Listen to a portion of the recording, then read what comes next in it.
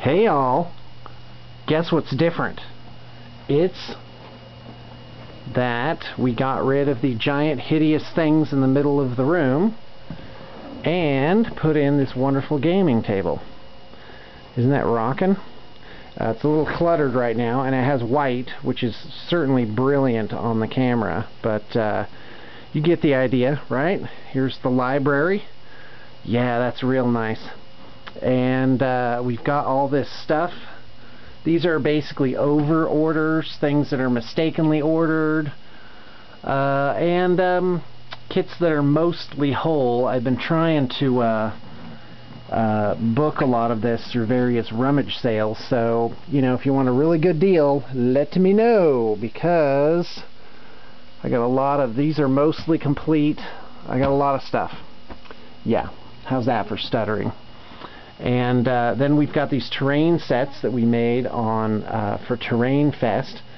This uh, ruined um, desert outpost thing, Mushroom Forest.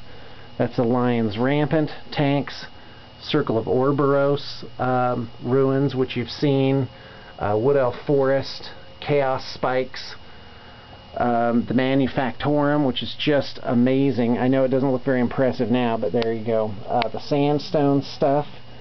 Um, these are all set there carefully so they don't, you know, uh, get all trashed like so much terrain at a game shop. Uh, things definitely do not get the same sort of abuse here. Oh, this is swamp terrain. And uh, we're going to actually have two sets of this new stuff, which is... Um, like this alpine forest type stuff. And here's the uh, bin full of that. I'm very pleased with how that turned out. It looks really natural. I can't wait to get it on the table. It's going to look really nice. And uh, these are all projects in various stages, uh, usually just waiting for something to uh, to complete them. And uh, there you go. Yes, pretty exciting. Lot going on at the studio. Oh, uh, by the way, the assemblers are going to uh, be needing projects in about uh, a week and a half, and so I really need to get things booked soon. So uh, there's some slots coming up.